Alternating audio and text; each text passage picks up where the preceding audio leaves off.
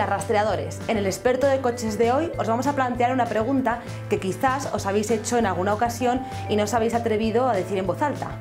Cuando hago una pirulilla con el coche, ¿quién me puede multar? No es para mí, es para un amigo. Guiño, guiño. No os preocupéis, en Rastreator os vamos a resolver todas vuestras dudas. Esta pregunta genera mucho debate por falta de conocimiento de tres conceptos, denuncia, sanción y multa. Con la denuncia se abre un procedimiento sancionador de tráfico que empieza en el momento en el que un agente o un particular ve una infracción. La sanción es eh, la elaboración en tiempo y forma de esta denuncia y la multa es el castigo económico que se deriva de la denuncia. Multa y denuncia se suelen confundir y son bastante diferentes, sobre todo desde el punto de vista jurídico. Sabiendo esto, tenemos que volver a hacer la pregunta y esta vez la haremos bien. ¿Quién me puede denunciar? Según el artículo 88 de la Ley de Tráfico, Circulación de Vehículos a Motor y Seguridad Vial, solo tendrán valor probatorio aquellas denuncias que estén elaboradas por un agente de la autoridad encargado de la vigilancia del tráfico, siempre y cuando no se pruebe lo contrario. ¿Qué quiere decir esto?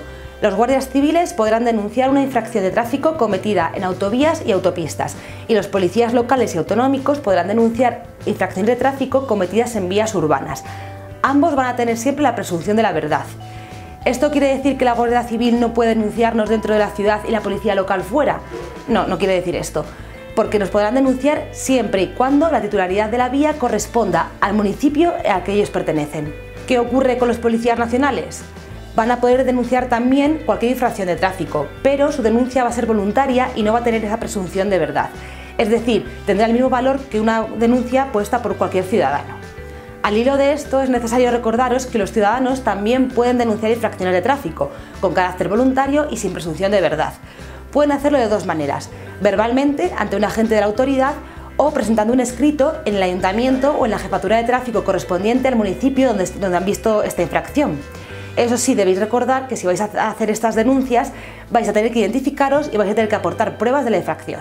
Los agentes de movilidad tienen la misma jurisdicción que un policía municipal, por lo tanto, podrán denunciar con presunción de verdad cualquier infracción que se cometa en las vías urbanas y en las vías interurbanas cuya titularidad corresponda al municipio que ellos pertenecen. Los controladores, por su parte, solo pueden denunciar las infracciones de tráfico relacionadas con el estacionamiento del vehículo, siempre y cuando esta infracción se cometa dentro de la zona hora que les pertenece. Si quieren denunciar cualquier otra infracción de tráfico, va a tener carácter voluntario y no van a tener presunción de verdad. Esperamos que ahora tengáis el tema un poquito más claro y queríamos recordaros que las leyes y las normas están para cumplirlas. Así podréis evitar tener que hacer estas preguntas en nombre de algún amigo. ¡Hasta pronto, rastreadores!